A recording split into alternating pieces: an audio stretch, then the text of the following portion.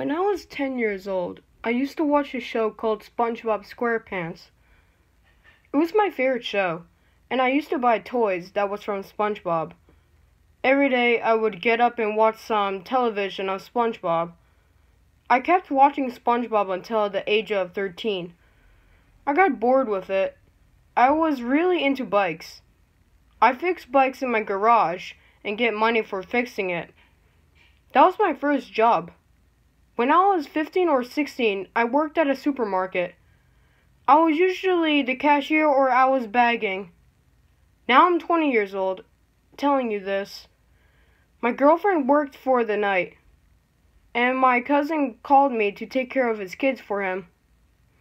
I said I would, and I would get $20 for doing that, right? He replied back, Yes, you will. I was looking a show to watch, and I came across a new SpongeBob episode. I decided to watch the, spon- the show for the memories. It started with the theme song. I started singing the theme song. After that was over, the title said dot dot dot. It was weird because I never saw one episode that said dot dot dot. I continued watching this the episode, and it shows SpongeBob's house. SpongeBob was getting ready for work. He came to the calendar and said, Oh boy, it is time, the contest. He started running to the Krusty Krab. When SpongeBob arrived, Mr. Krabs was waiting there. Mr. Krabs spoke in, Hey, boy, what are you so excited about? SpongeBob replied back, Today's today is the contest. Mr. Krabs says, What what is this contest?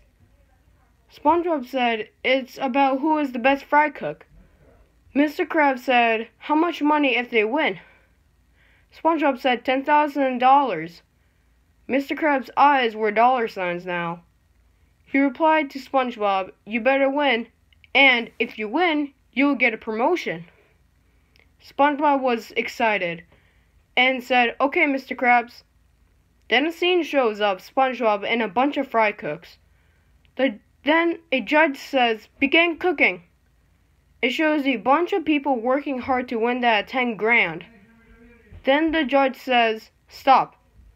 The judge came by and tried all their food. The judge finally made his decision. He says, the winner is the burrito fry cook. SpongeBob ran back to his house, and all of his friends were watching him run away, crying. Sandy says, Where are you going? The scene changes to SpongeBob and his house. He was crying next to his bed. He then had an idea. He said, So, he wins, huh? Well, he is going to die tonight. Then someone was knocking on his door. SpongeBob answered the door. And while he was answering the door, he took out a knife out of the kitchen. It was Sandy. She said, Are you okay? SpongeBob said, I'm okay. Come inside. Sandy said, Okay. When the door closes, SpongeBob walked up to her and said, Goodbye, Sandy. SpongeBob stabbed Sandy in the chest, and Sandy was screaming in pain.